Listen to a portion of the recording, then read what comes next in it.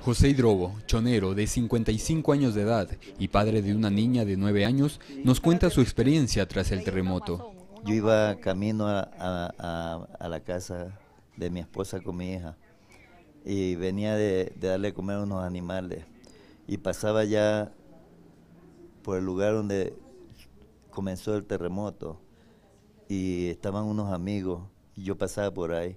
Justamente comenzó a temblar la tierra y unos corrieron para el otro lado de la calle y otros entraron a un local. Como yo vi eso, que todo el mundo corrió y para allá, yo no me preocupé y me prendí del poste de la casa.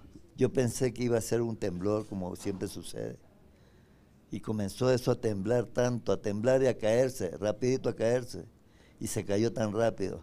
Yo no sentí en qué hora me quebró la pierna, porque me quebró esta pierna en dos. Toda la casa de la acera hacia la calle se desbarató toda. Y eso todo me cayó. Yo quedé aplastado en una ruma de más de un metro y medio siquiera. Su oficio es cuidar animales. Y Drobo cuenta cómo fueron los minutos de la tragedia. Yo no sé verdaderamente, pero Dios es grande. Dios, yo sí creo en los milagros. Yo tengo muchos años.